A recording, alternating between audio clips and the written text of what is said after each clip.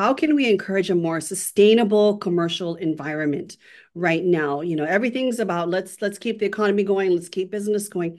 There's got to be a sustainable way to do it so we lessen our footprint um, in all of our communities. I don't care where you live landfills solid waste these are issues and so we really have to consider impact at that particular point whether people are throwing it away or consider the the process to even be able to make textiles as well. And many much of that is very harsh.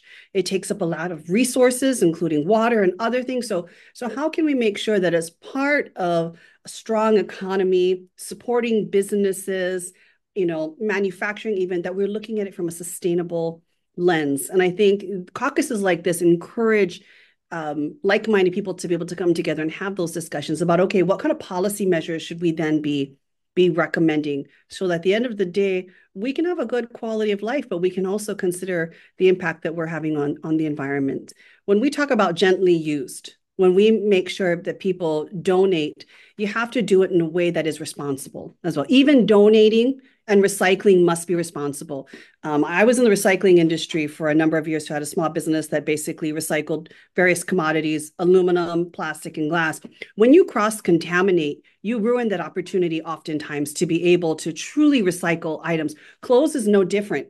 If you have contamination amongst that clothes, for example, bottles and cans with clothes, and I have seen this happen before, the clothes is rendered useless at that particular point. So I think part of what we also have to do is educate and make people aware of aware of the fact that even our most um, good intention deeds like recycling donating repurposing things must be done responsibly or else um, it cannot achieve the goal and, and you know outcome that we want.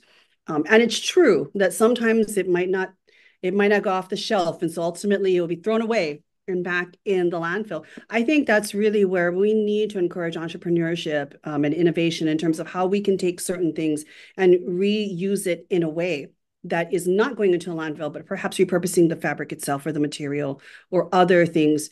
Uh, there's a lot of research and development that I think needs to go into things like this because the bottom line is, you know, we've got to do better faster going mm-hmm. forward into the future. And i think uh, that's where the r&d comes into play. I think the innovation comes into play in terms of how we can remake certain things. Uh, even our campaign shirts for example we often have many campaign shirts that as you change offices you ran for a house one day you run for senate the next day you've got more. I've made them into bags. I have a whole video somewhere on instagram where i show you how to make a t-shirt bag. I have sewn um, different fabric over the office i was running for because it was wrong. And I've got people walking around town with little strips of material under my name. And that's because it formerly said the previous office I was running for, but the shirt is perfectly good. And the name, you read the name. So there's different ways that even we can modify our everyday activity to be much more sustainable and responsible. I would bet that if you talk to a number of the individuals on the Republican side, women and men, that there should be and there would be an interest in you know the slow fashion caucus. I would bet many of them might do it themselves in terms of of thrifting or considering their wardrobe. Um you know i think we've just got to be intentional in our ask and show that this is an opportunity um, to find some common ground. Um, you know over a topic that's not too controversial i would hope right?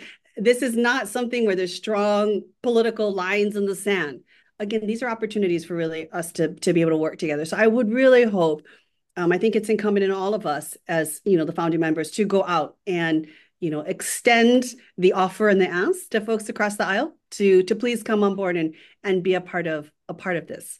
So I do believe caucuses like this give us an opportunity to make sure that people out across the country and even right here in our own neighborhoods understand that every single thing we do has impact.